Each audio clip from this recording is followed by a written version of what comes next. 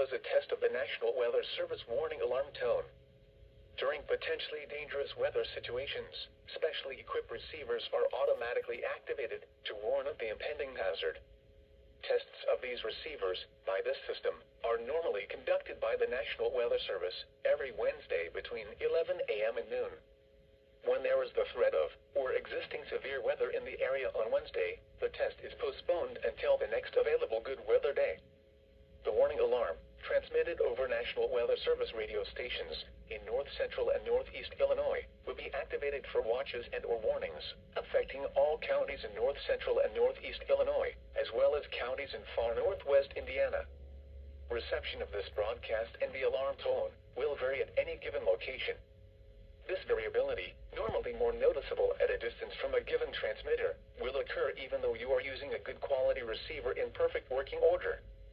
This concludes the tone alarm test. We will now return to our regular program.